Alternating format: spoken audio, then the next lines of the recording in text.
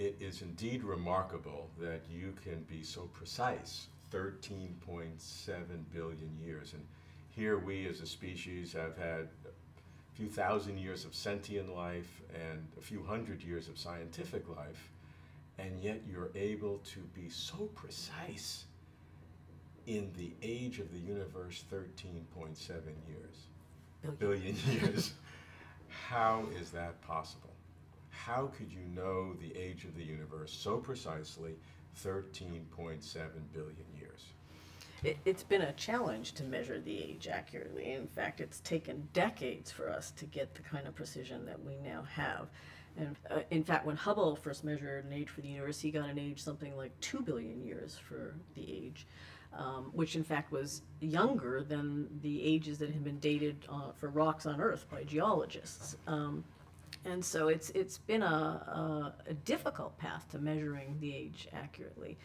And one of the things Hubble could not have foreseen was that there are, um, and I don't want to start off with the systematic, sorry. Okay, let's, so, let's start again. Yes, go, there are a number of developments that have happened in the last couple of decades that have made more accurate measurements possible. One was the development of new detectors that we could use that replace photographic plates, the, the photographic plates that Edwin Hubble had available to him. And we can now make much more uh, precise measurements of how bright the stars that we have to measure the, the um, period variations in. Uh, another is that we were able, with the um, launch of the Hubble Space Telescope, to get above the atmosphere of the Earth. And when we observe from telescopes on the ground, we have to look through the Earth's atmosphere, which is turbulent, it's in motion, and it tends to blur out the light coming from distant objects. So if we're trying to see one of these Cepheid variables, it's located in a galaxy with 100 billion stars, the light gets smeared out, it's harder to make an accurate measurement. If we get above the Earth's atmosphere, as Hubble is orbiting, um, and make measurements from space, then we can make much more precise observations. Um, another difficulty that Hubble could not possibly have foreseen is that so stars in the course of their evolution produce grains um, that the effect of these grains is to uh, absorb um, some of the radiation that's coming from a distant Cepheid. It makes the, the um, star appear both redder and fainter. He didn't know of the existence of this intervening dust. And we can now make measurements, very precise measurements, to correct for that. You have used different measurements in addition to the Cepheid variable stars so that you don't rely on just one measurement but have several independent measurements that can all target the same number which can use to calculate the age. So tell us some of these other uh, uh, parameters that are able to help.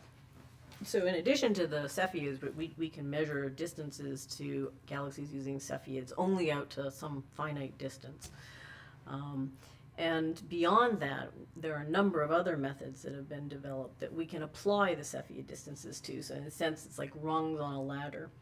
Um, and so, for example, we can observe very bright objects called supernovae. These are um, explosions at the end of lifetimes of stars that are extremely bright. They, in fact, can be, the explosion itself can be as bright as the entire galaxy in which the supernova resides. And so we can make these measurements out over a much um, larger distance.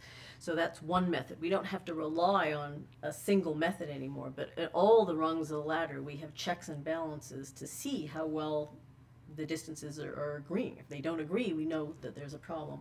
So in fact, in, in the course of our project with the Hubble Space Telescope, um, a large group of us made measurements of five different methods. So we measured the distances to galaxies containing Cepheids and then applied those distances to these other five methods. And what we found in the end was that the agreement was very good might not have turned out that way. Could have been that there'd be a huge range, a huge dispersion, but in fact the measurements of each of the five independent techniques agreed very well. So a number of improvements have occurred to let us make these measurements much more accurately. So you're very confident, 13.7 billion, right? You want me to go into the uncertainties? so there, uh, before we started these measurements, there was a debate in, in the community about the age. At, at, the level of a factor of two, was the universe 10 billion years or was the universe 20 billion mm. years old? And what we've been able to do now is make a measurement at a 10% accuracy, a huge improvement over what we could do before. Uh, and then there have been recent observations using completely different techniques, actually measuring the background radiation from the Big Bang. It's an independent estimate of the age, which agrees with ours extremely well. The microwave. The microwave background. The key number that you've been searching for, that you and your group have in fact targeted, is what's been called the Hubble constant. Tell us how that works. So the Hubble constant relates the velocity of expansion for a galaxy to its distance. So this is Hubble's original discovery when he realized there was a relationship between velocity and distance. The proportionality constant is the Hubble constant. It tells you um, that if you measure a certain distance, uh, you multiply by the Hubble constant and you get the velocity to a galaxy. So determining um, the slope of this relationship is um, the expansion rate at the current time. And we call that the Hubble constant. Okay, we now know the universe is expanding and expanding according to the Hubble constant, and so we can run the movie back in reverse to get the time of origin 13.7 billion years ago. But in 1998, something new was put into our heads that instead of the universe expanding but gradually slowing in expansion due to gravity, which was the natural expectation, data started to come in weekly at first, but then more, that the expansion wasn't decelerating because of gravity, but was incredibly, mind blowingly accelerating in its expansion. And many people didn't believe that at first. Should we believe? So even up to 10 years ago, I think the expectation of astronomers, cosmologists, anyone you would have asked was that if you went out and you could make measurements at even greater distances than we make measurements of the local expansion rate, you would expect because you're looking back further, you're looking earlier uh, in time in the evolution of the universe, that you would see the effects of the universe slowing down, that the universe would be decelerating because of the presence of matter and matter interacts via gravity. Gravity is attractive, it slows things down. Um, what happened instead was that um, a group went out to make measurements of supernovae, and what they found was the supernovae are fainter than you would expect if the universe had been slowing down. Um, as if the universe had actually been speeding up. The distances between the objects in the intervening time had actually increased uh, over time. And you could look at this and say, well, there must be some other effect that's causing it. What's what gives here?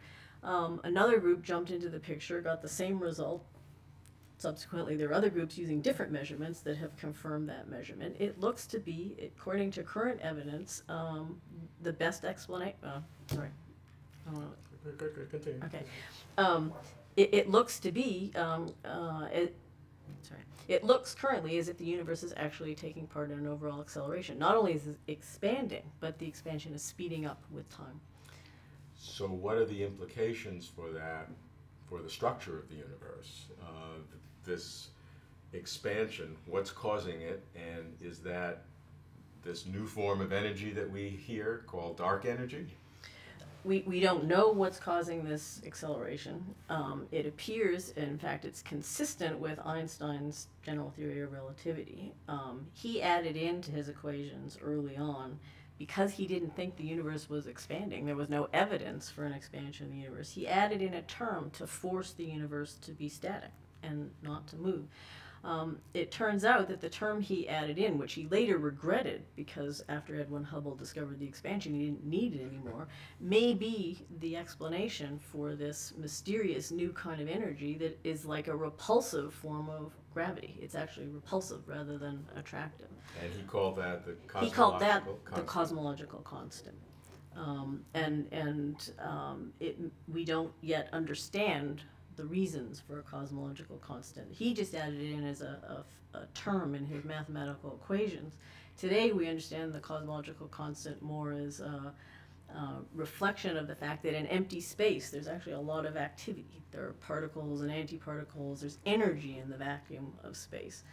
The problem is if you compute what the magnitude of this energy is, it's uh, 120 orders of magnitude greater than what we measure. Might as well be zero. That's unbelievable, but it's not zero. It's not zero. It's not zero. Uh, so not only is it large, but it's small. I mean, it's, oh, sorry, I don't want to say it that way. No, That's but true. it- but it's true. But not only is it not zero, not only is it not zero, but it's a tiny amount, and we don't have an explanation right now for what that is. It's one of the biggest mysteries right now in all of particle physics and cosmology.